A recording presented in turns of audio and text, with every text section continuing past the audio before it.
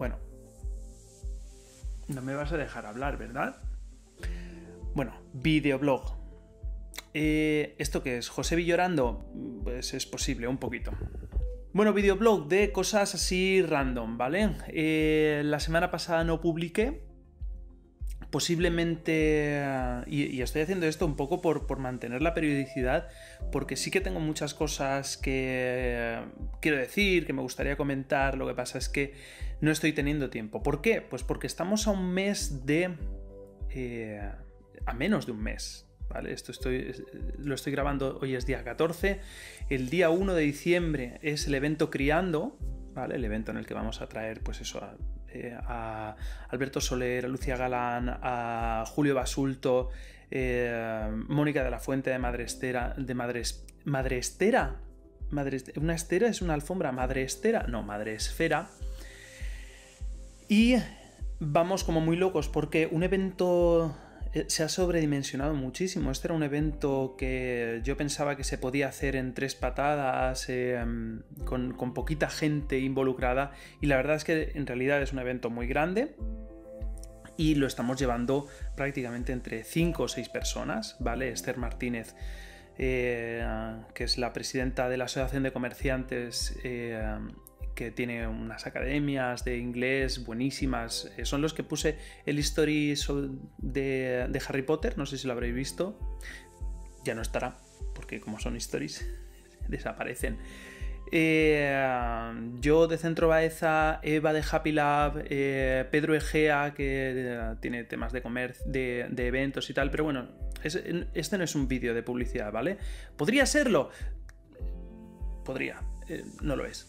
Em, el tema está en que eh, estamos muy a tope de, muchas cosas, de cerrar cosas, de cerrar patrocinios y eh, no tengo tiempo para grabar. De hecho, hoy miércoles eh, he dicho, mira, no tengo consultas ni por la mañana ni por la tarde, estoy ahora por la mañana, voy a voy a grabar un rato, hago un videoblog, mantengo la periodicidad, la gente que eh, está esperando a lo mejor un podcast o está esperando un vídeo, pues ahí lo tiene y yo cuento alguna cosita. De hecho, es eso, estoy delante de la ventana. Le voy a dar la vuelta, ¿vale? Esto me un montón. Igual aquí lo corto, ¿vale?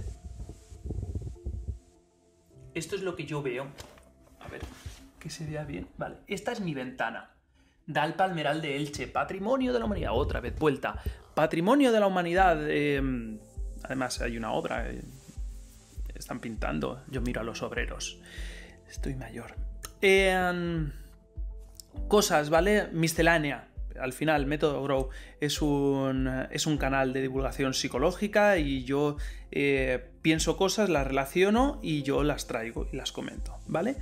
Y este fin de semana estuve dando una charla sobre, eh, sobre coaching, sobre mindfulness y tal. No era de coaching, era sobre todo sobre mindfulness.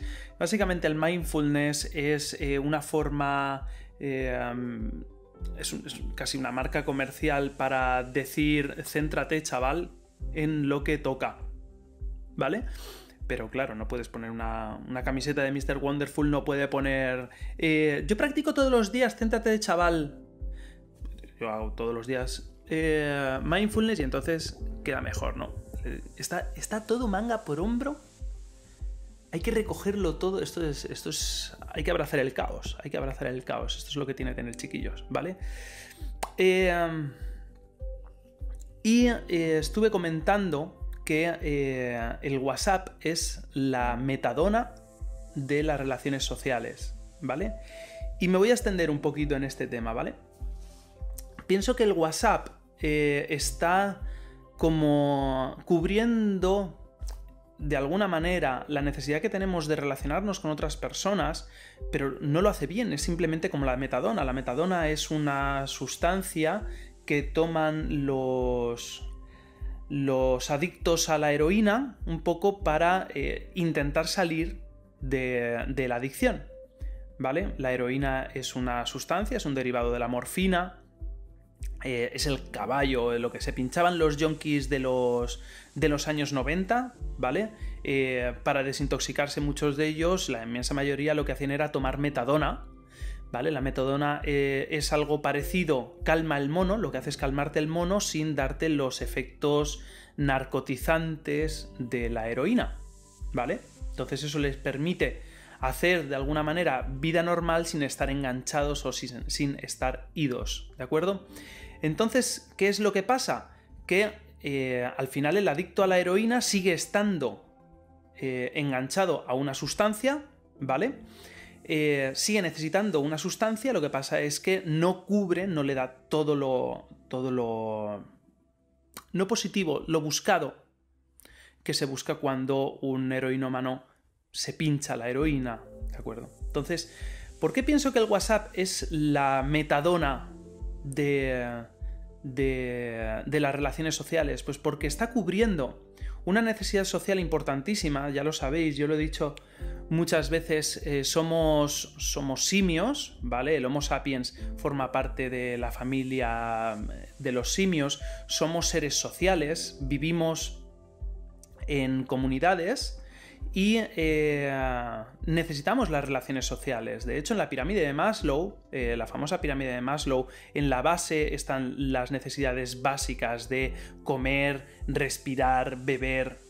Eh, luego está por encima unas necesidades de seguridad. O sea, cuando ya tengo algo que comer, entonces ya buscaré si lo que como me sienta bien o no, pero al principio eh, fijaros los ejemplos, las típicas historias de marineros naufragados eh, que son capaces de beber agua del mar locos por la sed, ¿vale? Y eso les hace enfermar. Eh, cuando ya tienen agua dulce, pues entonces, agua, potable para beber, pues entonces ya buscan algo, algo más seguro, ¿vale? Pero si vamos subiendo las escalas, antes está, cuando ya tenemos dónde comer, dónde dormir, lo, siguiente que buscamos es tener relaciones sociales. Relaciones sociales es una comunidad que nos acoja. Y eh, preferimos tener una comunidad que nos acoja aunque nos maltrate que no tener comunidad. Una vez ya tengo la comunidad, entonces buscaré eh, que, los miembros de la comunidad me respeten. Por eso se perpetúan muchos, muchos comportamientos de acoso, muchos comportamientos de, de bullying, ¿vale? Porque preferimos relacionarnos con alguien aunque nos maltrate que no relacionarnos con nadie. Esto está explicado muy rápido, ¿vale? Pero es para que nos entendamos. ¿Qué es lo que pasa con el WhatsApp? El WhatsApp... Eh, WhatsApp, chat, me da igual. Eh, nos, nos, cubre una necesidad de relaciones sociales. Lo que pasa es que el WhatsApp no es una relación social completa, es simplemente la sensación de que mantengo una conversación con alguien, de que formo parte de un grupo. Em, y formamos parte de un montón de grupos, pero no acaba de haber una comunicación efectiva, simplemente cubre esa necesidad. ¿De acuerdo? Entonces, eh, ¿qué es lo que pasa? Que como se ha cubierto esa necesidad, se nos ha calmado la sed de mantener relaciones sociales, eh, no buscamos relaciones sociales más auténticas, directas, eh, con, una capacidad de llenarnos efectivamente de forma efectiva. Y a pesar de que hoy en día estamos absolutamente conectados a través de WhatsApp, a través de Facebook, a través de Instagram, Twitter, la red social que, prefiráis, seguimos, eh, no, vivimos con plenitud esas relaciones sociales. Y yo creo que eso a la larga nos va a afectar. ¿Vale? Nos va a afectar, no acabamos de ser plenamente felices ni estar del todo satisfechos con nuestras redes sociales. Pero tampoco hacemos nada para cambiarlo. ¿Por qué? Porque eh, tenemos esa sed, esa necesidad de mantener relaciones sociales, la tenemos cubierta. De la misma forma que un, un, heroinómano, y lo digo en masculino porque habitualmente eran hombres, em, tiene cubierta la necesidad eh, con la metadona. ¿De acuerdo? Yo a todo esto me daba cuenta eh, mientras yo estaba consultando cómo iba mi Instagram, eh, interacciones, no sé quién me ha puesto un mensaje, eh, iba por la calle con el móvil y de repente miro, levanto la cabeza y veo a dos mujeres que estaban empujando el carrito que venían de dejar a los nenes en la guardería y, las veo que iban charlando y, me di cuenta y dije, esa es la relación social buena, la de tú a tú, la de, la la de hablar, la del cotilleo. Por cierto, eh, estoy empezando a leer el libro Sapiens, de humanos a dioses, y apunta una cosa que quiero seguir investigándola, que el, desarrollo del lenguaje en los seres humanos se está viendo que el, gran parte del desarrollo se hizo para el cotilleo, ¿de acuerdo? Para hablar de otras personas. Eh, es muy interesante esta idea y que quiero seguir, quiero seguir investigando sobre ella, ¿vale? Porque parece que hay eh, estudios sociológicos, transculturales que apoyan esta idea, que sobre todo hablamos para hablar de otras personas, ¿no? Es muy curioso. La cuestión es que eh, em, me di cuenta de eso, de que al final no estamos teniendo relaciones sociales satisfactorias porque estamos cubriendo esa necesidad a través del WhatsApp, ¿no? Eh, yo tengo un podcast por la. Tengo un podcast mensual que se llama Taitantos. Eh, que tratamos temas de. Somos taitañeros, ¿vale? Gente de más de 30 que nos juntamos, somos cuatro. Y nos juntamos para hablar de, de, la locura en la que estamos metidos, ¿no? De lo rápido que van las cosas. Intentamos explicar eh, explicarnos a nosotros mismos, de alguna manera, eh, componentes de la cultura millennial, por decirlo de alguna manera, no es despectivo millennial, ni mucho menos, al menos no en mi caso. Eh, y esta, esta, misma noche grabamos podcast, lo grabamos vía Skype. Y yo voy a traer ¿vale? Creo que no sois público, no sois el mismo público, los que veis Método Grow o los que escucháis Método Grow y los que escucháis hay tantos, ¿vale? Por eso voy a contar un poco aquí eh, el contenido que voy a traer esta tarde, esta noche, que es eh, TikTok, ¿vale? No sé si conocéis la, aplicación TikTok. A lo mejor no la conocéis como TikTok, la conocéis como Musicali, pero TikTok compró a Musicali. Y eh, hago un poquito de historia en, el programa de esta noche, diciendo que, pues en un momento dado, si nos retrotraemos a, hace 15, 20 años, cuando de repente aparece, la... aparece el programa Gran Hermano. En Gran Hermano eh, se cumple un poco ese sueño que tenía muchísima gente de salir en la tele, ¿no? En la tele solamente salían celebridades, eh, actores, futbolistas, toreros, actrices, cantantes, ¿no? Y de repente la gente miraba a, esa, televisión eh, con muchas ganas de participar de, esa notoriedad, ¿vale? Porque tenemos una necesidad, muchos de nosotros tenemos necesidad de que nos hagan casito. Y yo también. Y eh, en un momento dado, de repente aparece Gran Hermano y a partir de ahí eh, la gente dice, ah, pues yo quiero salir en Gran Hermano. Hubo, todo, un, movimiento de, de, castings, de salir en Gran Hermano, de seguirlos, de cotillear sobre ellos, ¿no? Ya no hablábamos de famosos, hablábamos de personas de verdad, ¿no? Eh, Mercedes Milá al principio decía que era un experimento sociológico. No era un experimento sociológico. Tú y yo lo sabíamos, como decía Joaquín Luqui, eh, era de, de, los 40 principales, locutor. Eh. Va avanzando el fenómeno Gran Hermano, aparece el fenómeno Operación Triunfo, aparecen otros realities en los cuales eh, gente de la calle em, sale en la tele y todos queríamos, yo también, eh, en su momento, quisimos al menos participar en los castings, ¿no? Soñar de alguna manera con salir en la televisión, porque por aquel entonces Internet eh, estaba en bragas, por decirlo de alguna manera. Existía ya desde hacía muchísimo tiempo lo que era un Internet, pero era en modo texto, como mucho se subía alguna fotografía, pero no había, no, salíamos en la tele, no salíamos en la pantalla, no había vídeos, YouTube no existía por aquel entonces. Existía Google Video, había algún servicio de, eh, de, streaming, pero, pero, pero estaba en pañales, con una calidad eh, inimaginable.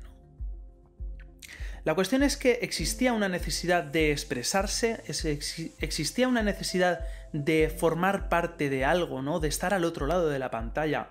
Súper interesante, por cierto, el último vídeo de Jaime Altozano hablando de Rosalía. Es un vídeo de 38 minutos, ¿vale? Es largo, pero es, cremita, ¿vale?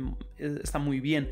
Reflexiona también, divaga, como yo, eh, sobre algunas cosas, pero muy, muy, muy interesante y le da alguna vuelta sobre esto, ¿no? Sobre la posibilidad que ahora tenemos casi cualquiera con un, con, un móvil, ¿vale? Yo hoy no estoy grabando con mi cámara buena, ni con los focos, ni con el micro bueno y tal. Yo estoy grabando con el móvil y con un micro pequeño, ¿vale? Y eh, aquí estoy eh, y formo parte. Estoy expresándome, tengo pienso que tengo un mensaje, pienso que tengo un mensaje que es digno de ser escuchado. Y, eh, y hay todo un movimiento, ¿no? El papá quiero ser youtuber, ¿no? Y eso no tiene por qué ser malo. La cuestión es que eh, esa necesidad de expresarse va creciendo, avanza la tecnología, empiezan a aparecer nuevos servicios, doy un salto muy grande en la historia y de repente aparece eh, Vine, Vine, que son estos vídeos de 7 segundos en los cuales eh, la gente tiene una herramienta muy sencilla de editar, muy sencilla para editar sus vídeos, para crear contenido, para subirlo, para compartirlo, para que les den likes, hay una interacción social, nos convertimos en creadores, nos convertimos en creadores de contenido y eh, hay gente que empieza a hacer cosas muy interesantes, ¿no? Sigue avanzando esta tecnología, Vine eh, desaparece por, temas eh, y aparece Instagram, aparece Snapchat, hacemos fotos a nuestra comida, hacemos fotos a nuestros gatitos. Hola, tengo aquí a Akira durmiendo, le hacemos fotos a los gatitos, eh, los subimos, la gente le da like, le da me gusta, comparte eh, y de repente esa red social se hace cada vez más grande. Vine desaparece, aparece Snapchat, aparece Instagram, aparecen los stories, eh, la gente tiene una necesidad muy grande de contar y de que le y, de recibir feedback sobre sus cosas, eh, de que nos pregunten qué tal ha ido ese viaje, cómo está tu madre, ¿vale? Por eso me resulta muy interesante esto que apunta el libro Sapiens, ¿no? En un momento dado, eh, ¿quién no ha bailado o quién no ha cantado, quién no ha hecho un karaoke eh, con los amigos y de repente aparece Musicali la gente canta, la gente hace vídeos musicales de 10, 15, 30 segundos, un minuto. Eh, la red social Musicali eh, crece muchísimo. Haces tus vídeos, los compartes, les dan like. Y en China aparece una red social llamada TikTok. Eh, creo que Musicali también es, es, china o es asiática, ¿vale? Aparece TikTok y compra Musicali te estoy hablando eh, de, esto hace menos de dos años, ¿eh? esto es hace, hace muy poquito, y esta red está creciendo muchísimo, muchísimo, muchísimo. y ya directamente la red social, si te descargas TikTok, lo habréis visto en los anuncios de YouTube, seguramente, porque se gastan una pasta en publicidad. Eh, es simplemente la interfaz es el vídeo en vertical, eh, vas viendo vídeos, la gente lo comparte, coge un vídeo, lo modifica, hace duetos, ¿vale? Hay una necesidad muy grande de expresarse, de mantener relación con otras personas, de, hacer comentarios, de, de seguirse, ¿no? Y esto tiene una parte muy buena porque es un medio de, expresión fenomenal. Voy a cambiarme de mano que creo que me tiembla ya. Me canso de sostener el vídeo. Como lo estoy haciendo con medios precarios, pues luego pasa lo que pasa. Hazlo bien, Josevi, ya, ya lo sé. Eh, la gente tiene una necesidad muy grande de, de expresarse y eso está muy bien. El problema está en que estamos, como no tenemos tiempo para todo, ya os lo he dicho, yo mismo no estoy teniendo tiempo para eh, compartir, para crear contenido, para eh, editarlo y producirlo y, y, lanzarlo a la red, porque estoy con otras cosas, ¿vale? Nos quitan muchísimo tiempo los móviles, ¿vale? Nos quitan muchísimo tiempo otras cosas, hay muchísimo ruido, vivimos en una época en la que la cantidad de ruido es enorme y no tenemos tiempo para todo. Y me tengo la sensación de que WhatsApp, este tipo de, medios nos están, tiempo, nos están restando tiempo de cosas que verdaderamente nos satisfacen. ¿Por qué? Lo digo un montón, porque nuestro cerebro funciona así. Estamos diseñados para mantener relaciones sociales. No somos no somos primos hermanos del orangután, que la mamá orangután eh, tiene su cría, se va al bosque y se pasa siete años con su cría educándola y cuando la cría se hace mayor pues entonces vuelve a tener otra cría. No, somos primos hermanos de los chimpancés. o de los bonobos, sobre todo de los chimpancés, que son más violentos, así nos va. Y eh, resulta que, como somos primos hermanos de los chimpancés, vivimos como los chimpancés y formamos tribus. Eh, sabéis lo importante, la importancia de la tribu, y necesitamos el contacto social.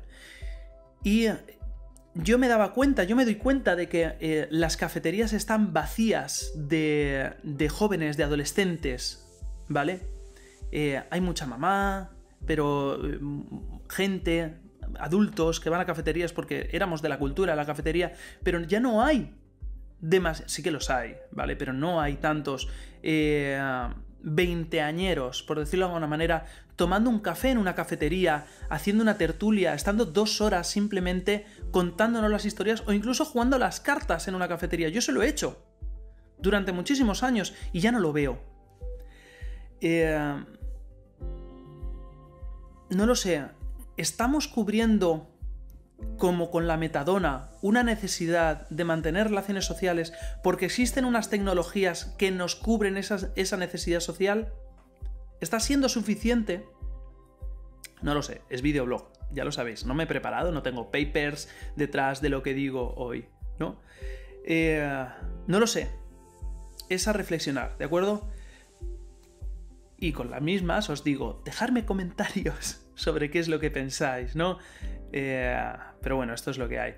Sin mucho más, ¿vale? Al final este vídeo se ha hecho larguísimo. De momento tengo 22 minutos grabados, ya veremos cómo se queda, ¿de acuerdo? Ya sabéis que me podéis encontrar, como siempre, en Centro Baeza, este contenido y mucho más en formato podcast en nacionpodcast.com. Y eh, vamos a ver si el evento Criando sale bien. Eh, tenemos, ya tenemos más de 120 entradas vendidas, o sea que va a venir gente ¿vale? Y va a ser muy guay. Eh, los ponentes son tremendos.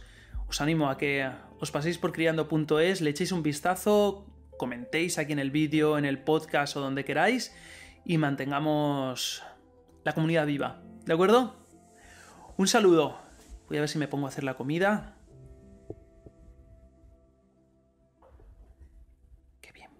Qué bien vive el gato. Chao. Nos vemos en el siguiente episodio. Hasta luego.